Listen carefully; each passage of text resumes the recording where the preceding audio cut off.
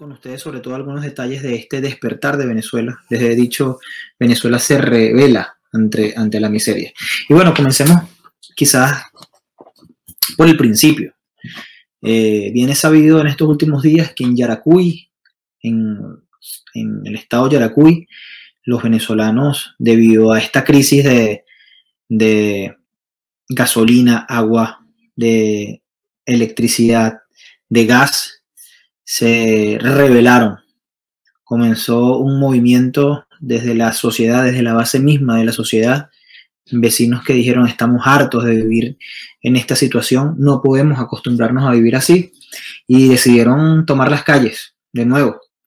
Eh, se han enfrentado a un grupo de esbirros criminales que han sido calificados como criminales de lesa humanidad y a pesar de las malas experiencias del año 2014 y 2017, donde la represión dejó una estela de muertos y detenidos, la gente ha vencido el miedo, ha vencido eh, las barreras que impone la intimidación, la tortura, la cárcel, para decir no, nos vamos a acostumbrar. El miedo no va a hacer que nos dobleguemos y nos acostumbremos a vivir en esta desidia. Y han tomado las calles y tomaron las calles durante seis días consecutivos. Ha sido así el ejemplo de Yaracuy, o ha sido tal el ejemplo de Yaracuy, de los yaracuyanos, de esa gente valiente y noble, que se ha transmitido ese espíritu rebelde a otros estados y otras poblaciones del país, ocasionando pues que en este momento podamos decir que se está generalizando la protesta. Debido a esto, yo sí quisiera aprovechar quizás y con el perdón sobre todo de los que están dando el pellejo y sacrificando su tiempo, su esfuerzo e incluso poniéndose en riesgo, si quisiera comentar por experiencia, por experiencia de calle, algunas cosas para tener en cuenta y este esfuerzo que ha nacido y que están haciendo desde la base misma de la sociedad no se vaya a perder por manejos de intereses partidistas o de intereses mezquinos que solo buscan cuotas eh, al aprovecharse pues de esta, de esta situación para, no sé, para negociar o etcétera. Eh, bueno, primero que nada debo decir que según experiencias pasadas en el tema de la represión, la situación era distinta. Cuando comenzó este proceso de, rebeldía hace, hace pocos días, este proceso de rebelión ciudadana, de rebelión de los pueblos a la miseria y a la decadencia que el régimen de Nicolás Maduro eh, nos, nos, ha llevado, eh, lo más importante lo que, o lo que denota diferencia es que es algo autoconvocado algo genuino. En las experiencias pasadas, tanto el 2014 como el 2017, estas protestas iniciaron por situaciones que derivaban, sí, de situaciones sociales, pero eran particularmente eh, iniciativas políticas. Iniciativas políticas por, en el 2017, un golpe de Estado que el Tribunal Supremo de Justicia le dio a la Asamblea Nacional y en el año 2014, eh, porque bueno, la gente no quiso acostumbrarse a, al golpe o al robo de las elecciones que sucedió en el 2013. Eran situaciones políticas que sí se ampliaban para que la gente mm, tomara en cuenta que la situación económica, social iba a empeorar e iba a ponerse aguda. Hoy la situación es distinta. Hoy la iniciativa no es porque eh, políticos han llamado a, a la salida o porque tal o cual haya convocado una manifestación por derechos políticos, etcétera, sino es de la necesidad de la gente de sobrevivir. Lo que está pasando hoy en Venezuela es por la necesidad de la gente a sobrevivir. Es una iniciativa genuina, una iniciativa de los venezolanos que están diciendo no estamos dispuestos a acostumbrarnos a la miseria, a la decadencia, a no tener cómo bañarnos, a no tener cómo echarle gasolina a los vehículos. Hablaba yo con familiares hace poco, 12 días en una cola para echar gasolina. No importa cuánto dinero tengas, no importa cuánto surfes la crisis, no vas a tener cómo, no tienes cómo rodar, no tienes cómo bañarte, tus equipos electrónicos se dañan, el mercado que logras conseguir que es bien caro, bien costoso, se te daña en las neveras, está podrido, se te pudren los alimentos. Una situación eh, bien miserable a la que los venezolanos no se quieren acostumbrar y lo están demostrando. Ahora, ¿Qué diferencia hay hoy, año 2020, a las iniciativas de protesta del año 2017 y el año 2014? Yo puedo poner muchas. Como dije en primer lugar, que la iniciativa de este proceso en este momento es una iniciativa desde la base, genuina, una iniciativa desde los venezolanos mismos, que ha sido autoconvocada, que ha sido por la desesperación, que ha sido por que la gente quiere tener esperanza, quiere construir una posibilidad a la miseria. Es lo que está sucediendo. Es una de las primeras diferencias. Lo segundo, y es para el análisis de, todos, es que durante las protestas del año 2014 y el año 2017, el sistema represivo, aunque es un valor que hay que tener consciente para esta etapa, ya tienen experiencia de estas dos grandes rebeliones civiles, lo importante ahora es que como en toda guerra, en todo proceso de, guerra o de conflicto o de situaciones políticas, la, la, capacidad militar requiere de una logística. Y hoy día, el tema logístico militar represivo de los verdugos de Nicolás Maduro se enfrenta a un problema. Y es un problema que estaban viviendo todos los venezolanos, y eso lo incluye a ellos, a los militares, a los policías a los cuerpos represivos, a los que están acusados hoy de violentar crímenes de lesa humanidad. Y es que el combustible no solo falta a los saludos amigo David, ahorita vamos a conversar con David, a Carlos, a Raelso, saludos a todos. La diferencia de hoy, a de los años pasados, es que la dictadura y sus esbirros se ven en una realidad que también tenemos nosotros. Y es que a pesar de que Maduro pueda tener sus tanques llenos de gasolina y sus aviones también, y que la cúpula partidista pueda tener algunas bombonas de gas para mm, repartir algunos particulares, el tema es que en verdad no tienen capacidad de resolver los problemas que están esperando esta lucha. Y lo segundo es que la capacidad represiva se ve disminuida por la falta de operatividad cuando no hay combustible. Cuando hay una guerra, una de las principales cosas que se atacan es eh, los, las reservas de combustible. En esta oportunidad, esta rebelión civil, rebelión ante la dictadura, rebelión ante la miseria, rebelión ante el mal vivir que está ocurriendo hoy en Venezuela, la sociedad no tiene necesidad de mandar un dron para volar bombas o eh, yacimientos de gasolina o combustible. Porque eso, eso ya lo volvió el adversario. La dictadura destrozó nuestro aparato productivo, incluso es lo que motiva en, mucho esta protesta, la falta de gas, la falta de gasolina, la falta de combustible. Pero esa falta no solamente la, tienen los venezolanos, esa falta la tienen también los esbirros de la dictadura, los cubanos infiltrados, la FAES, los grupos terroristas del FAES, de la Guardia Nacional, etc. Ellos también están viviendo esa crisis. Y por eso hemos visto algunas tanquetas por allí que se quedan varadas y tienen que empujarlas porque también les falta el combustible. Entonces esa realidad cambia el tablero. Ellos tienen que concentrar su cuerpo represivo en los estados que ellos consideran estratégicos, Carabobo, Caracas, eh, Anzuategui, Bolívar, etc. Pero esta rebelión civil autoconvocada están haciendo desde las entrañas mismas, desde la base misma de nuestro país y no tienen un organigrama eh, específico, pero lo que sí fue, a pesar de que es genuino, de que es autoconvocado, de que es espontáneo, por, por virtud divina, por sabiduría de Dios. Está naciendo en los estados que tiene que nacer. Nació en Yaracuy, donde la dictadura ni imaginaba que podía explotar un problema de esta magnitud. Y se ha ido expandiendo en estados también que ellos no consideraban eh, conflictivos. Cojedes, Guárico, Sucre, Nueva Esparta. Estamos viendo una iniciativa civil ciudadana que está fluyendo y expresándose contra, repito, la miseria en distintos rincones del país, en los estados menos pensables, entre lo que menos tenían organizado de cómo enfrentar. Y esa realidad, esa realidad nos va a llevar ya en lo, en lo pronto. Discúlpenme, bueno, vamos a mantenerlo allí.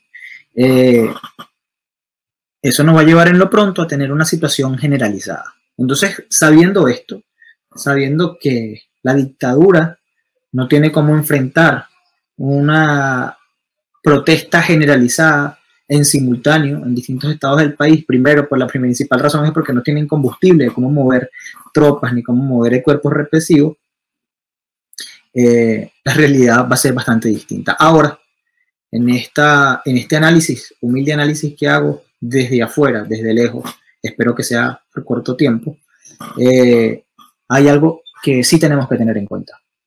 Y también lo digo por experiencias pasadas. Sería injusto decir que los venezolanos hemos llegado a esto porque no hemos aportado, porque no hemos hecho. Miles, miles de venezolanos han manchado, y decir manchado es, es eh, como faltar el respeto. Yo creo que han aportado con sacrificio tinta a una historia que hasta ahora ha sido muy dura. Han sido vidas perdidas, han sido jóvenes torturados, jóvenes presos, eh, quienes han pagado una historia de lucha en estas últimas dos décadas. Han sido luchas continuas. Y ninguna lucha ha sido poca, ha sido gigantesca. No se le puede decir a un joven que pasa años de su vida encerrado en una celda, y se le puede decir a Neomar, se le puede decir a Oscar Pérez ni al capitán Cogoripano, que toda esa lucha que ellos han dado o que dieron eh, fue en vano, fue pequeña. Fue muy grande, fue muy grande ese sacrificio. Eh, lo importante es qué podemos hacer nosotros, qué estamos haciendo nosotros y qué vamos a hacer nosotros para que eso no quede vano, para que esta historia tenga un final, para que esta historia se cuente desde allá, desde ese inicio hasta ahora, hasta el final.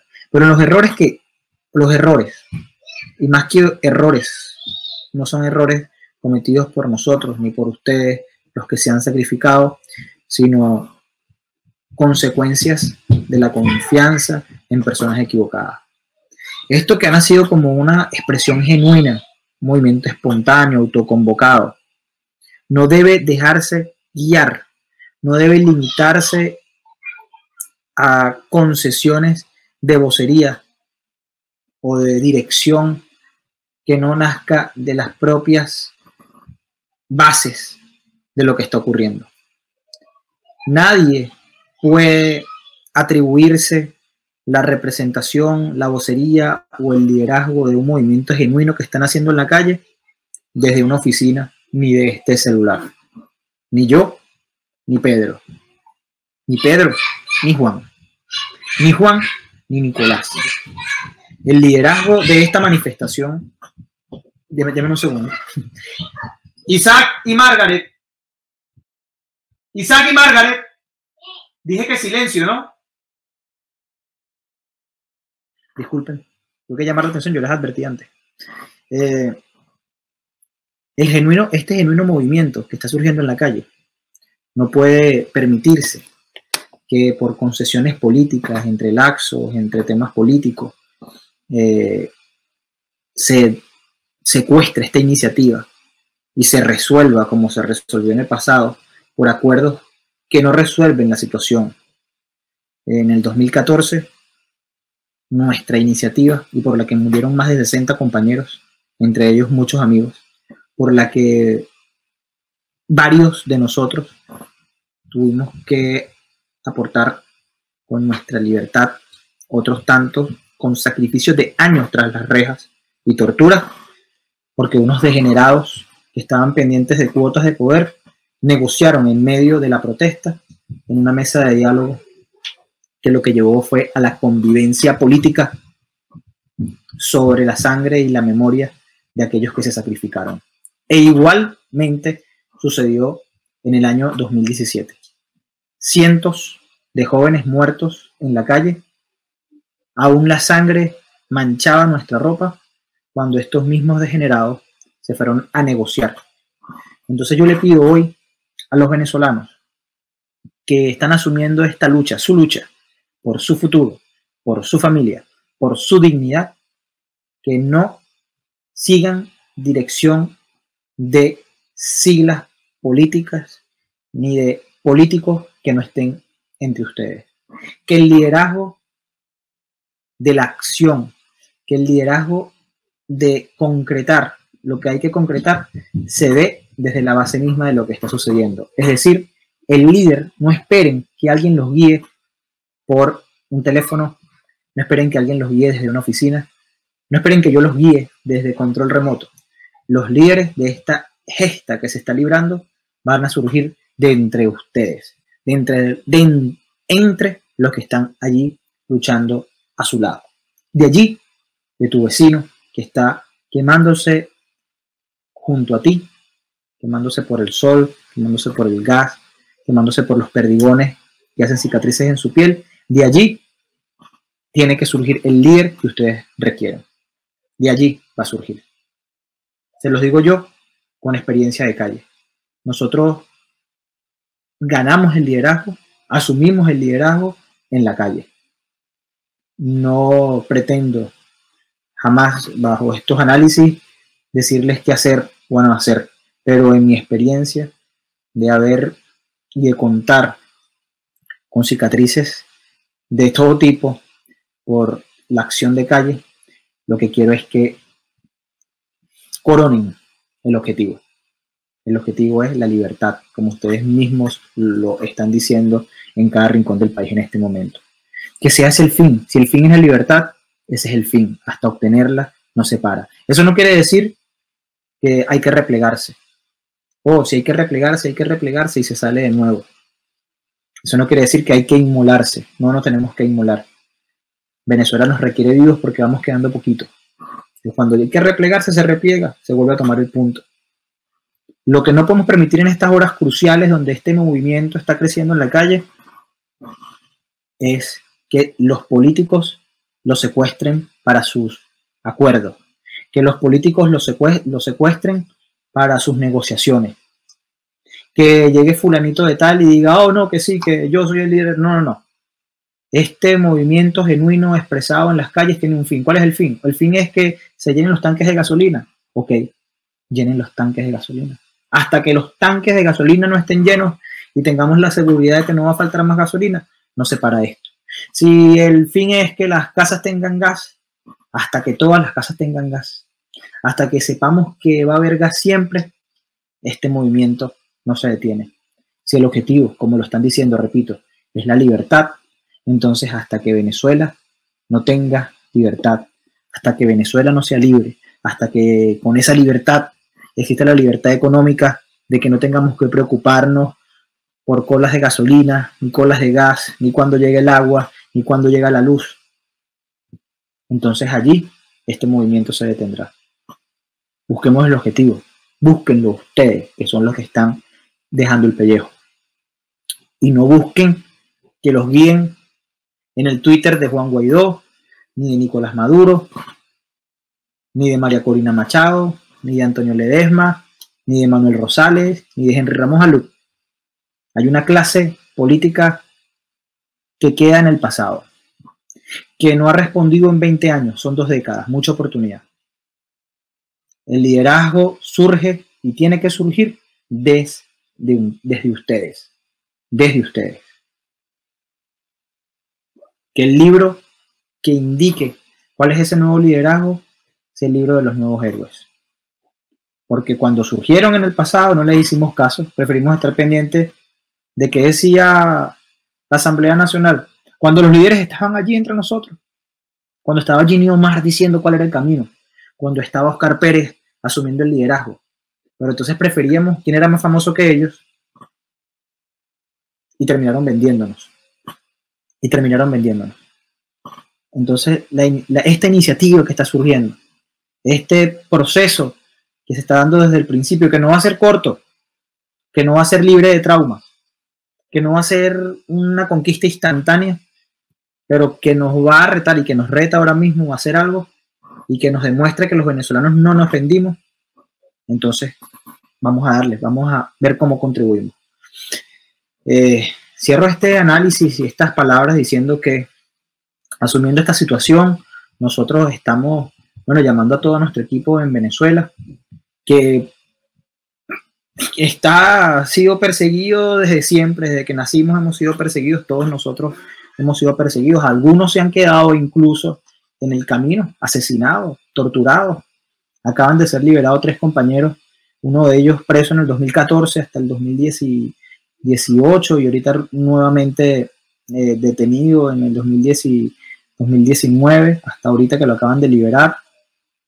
Hablo de, de, Renzo Prieto, diputado Renzo Prieto, el secretario general de Jabú, eh, nuestro compañero David, que está aquí conectado en el Instagram con nosotros. Esperamos mañana quizás conectarnos con él y transmitir junto a él. Está allá en Táchira. Acaba de salir de los calabozos. Ocho meses metidos allí, estos tres compañeros de Jabú metidos en un calabozo, eh, eh, soportando bueno, la tortura psicológica, junto a otras torturas físicas. hay mucho capital humano en Venezuela, mucho capital humano, y ahora mismo estamos llamándolos a todos. No para que secuestren la iniciativa de la sociedad civil, ellos son parte de la sociedad sino para que la acompañen, para que con la experiencia no se cometan los errores o las debilidades que tuvimos en el pasado. Y afuera, afuera donde hay mucho de lo que hay que solucionar, afuera, el apoyo internacional que requerimos, porque sin duda necesitamos el apoyo. Bueno, necesitamos eh, hablar con los aliados, presentar alternativas, presentar un plan. Gracias a Dios que ese proyecto de transición que el gobierno de los Estados Unidos eh, hizo para Venezuela, ya se han excluido dos criminales, tanto a Néstor Reverol como a Padrino López, que tenían las puertas abiertas en ese, en ese, en ese plan. Entonces, bueno, yo no me extiendo mucho. Sí, eh, les quiero comentar que a esta hora hay grandes manifestaciones de descontento en contra de la miseria, de rebelión en contra de la, decadencia. Yaracuy, Cojedes, Portuguesa, Guárico, en el estado Vargas, en el estado Sucre, en el estado Nueva Esparta. Hay manifestaciones enormes. Hay en el estado Bolívar también. La gente se está rebelando, no puede malvivir, repito. Bueno, los a los que están viendo desde afuera, 12 días para echar combustible, 12 días para echar combustible en una bomba. No hay gas, no hay gas doméstico. hay cortes, han ocurrido cortes estos últimos días de, electricidad generalizado. Hay agua, hay escasez de agua potable. O sea, una situación de colapso total de nuestros servicios básicos. Y lo que se pensaba por tanta represión, por tanta violencia, por tantos crímenes de lesa humanidad, que la sociedad, bueno, se acostumbró, no, los venezolanos no se van a acostumbrar, no se van a acostumbrar. Los venezolanos nunca se han acostumbrado porque han luchado paros, marchas, contra marchas, huelgas de hambre, eh, eh, plantones, eh, todo lo que se le pidió, elecciones. ¿Cuántos muertos ha aportado Venezuela? ¿Cuánta tortura? ¿Cuánto apoyo y solidaridad en todo lo que se le ha pedido? Lo que ha fallado es la dirección política. Y como sabemos que eso no existe, que no hay dirección política, entonces por eso la importancia, y es el principal tema que le digo yo hoy a los venezolanos que están allí dejando el pellejo. El líder nace de ustedes. El líder nace de ustedes. No dejen que se vaya al paraíso otro Neomar sin escuchar sus palabras. No dejen que otro Oscar Pérez aparezca masacrado porque no lo escuchamos. De allí, de entre ustedes, va a surgir el líder. Y el líder no está entre las sombras. El líder no va a quedar opacado, porque un líder, un verdadero líder, siempre se reconoce. Ustedes lo van a reconocer. Está allí entre ustedes. Entonces, bueno, me desconecto. Les estaré actualizando y estoy ahora mismo probando algunas plataformas para colaborar en transmitir información. Eh, hay cosas que, no, que quizás ahora mismo no se pueden decir, pero, pero estamos muy, muy, muy involucrados en, en poder informar. Eh, hace unos días decíamos la importancia de estratégicamente iniciar y de colaborar con Yaracuy en algunos estados. Hoy, tres días después de emitir algunas opiniones en análisis, son exactamente esos estados los que se encuentran activados ya en esta rebelión y vendrán, digamos, más llamados y análisis de lo que podemos contribuir con la experiencia, tanto en la idea como lo que vamos a contribuir también en el terreno. Jabú se prepara para acompañar como siempre lo hemos hecho, en el frente, en el frente de la batalla, esta nueva batalla por la libertad. Espero que juntos, espero que libres de politiqueros, logremos esta vez coronar la libertad. Con mucho apoyo del presidente Trump, por supuesto. Yo tengo allí, por allá, vamos a ver si lo logro ver por acá. Ahí está. Trump. Trump 2020. Bueno, esperamos sí que con, también con la victoria del presidente Trump en los Estados Unidos eh, se lleguen a acciones definitivas. Ya hay cosas importantes. Ya cierro, sí, he dicho cuatro veces que voy a cerrar, hay cosas importantes. En la última presentación del presidente Trump ante la realidad de Latinoamérica, ante su propuesta, habló de Venezuela. Dijo, he sido condescendiente en presentar, y estaba así, para mí, una vaina que para mí era intolerable lo que se le está presentando o se le estaba presentando en ese proyecto de transición al régimen criminal de Maduro. Concesiones como que se puede ir, etcétera. Y imagínate, Padrino podía ser parte en ese esquema de la transición del gobierno de transición, ese gobierno transicional. Podía estar en el Consejo de Transición eh, Padrino López, tenía el puesto ganado. Ya ellos están fuera de allí. Y lo más importante que ha dicho el presidente Trump es que ha sido, su acción era abierta a la paz, como ha sido su gobierno, para que pacíficamente abandonaran el poder. Ahora toca el momento es el momento, lo he dicho él, no lo estoy diciendo yo, de una acción agresiva, agresiva e inminente.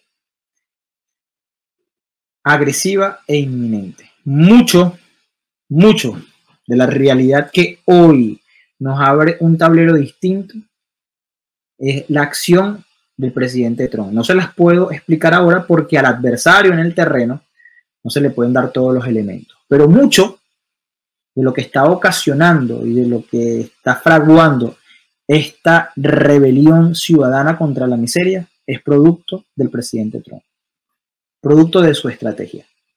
Yo confío en él y espero que pronto, por fin, se le pueda dar definitiva eh, solución a nuestra crisis, definitiva eh, punto final, definitivo punto final a esta pesadilla que estamos viviendo por el bien nuestro y el bien de nuestra familia. Nos vemos pronto por aquí y espero que un poquito más de laxo que me den, también verlos donde nos toca vernos. Entonces, bueno, me desconecto, les doy las gracias a todos por conectarse. Eh, disculpen por esta miradera para acá, estoy probando un nuevo sistema para transmitir. Eh, voy juntando información, voy juntando análisis, voy teniendo ahora mismo reuniones eh, en el terreno, reuniones con el equipo que está allá en el terreno para presentar siempre propuestas que puedan contribuir en, función de lograr el objetivo que se trace la gente que está dejando el pellejo. Entonces, bueno, muchas gracias a todos.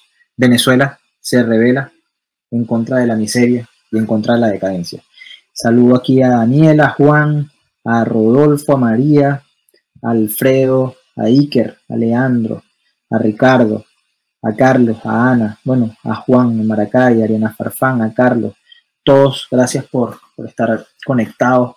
No puedo ver tanto los, eh, los que se conectaron por acá en el, en el, en el Periscope porque tengo un sistema como retransmitiendo por allá, pero a todos ustedes también muchas gracias. Recuerden que este video queda allí para, para que lo, Dice, aquí dice Carlos, vamos a responder esta, vamos a responder estas preguntitas. Acá dice Carlos que no crees que se aplaque un llamado a hacemos áreas más maduras.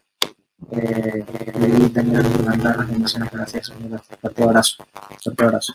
Gracias por siempre acompañarnos. Hoy estábamos recordando 11 años de aquella liberación. Usted era la primera en recordarme y me alegra mucho saber que, que puedo contar contigo después de tanto tiempo.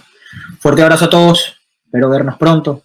Nos vamos a seguir viendo. Voy a arreglar este sistema. Ahora mismo reuniones con el equipo allá que está en Venezuela. Eh, y bueno, fuerte abrazo, fuerte abrazo. Recuerden que pueden transmitir y retransmitir esto. Eh, no lo voy a dejar en Periscope, en el Instagram lo transmito solo en vivo, pero va a quedar grabado en el Periscope y luego eh, ya estoy preparando todo para que, para que esto también quede en YouTube. saludo a, a noticias, noti- noti-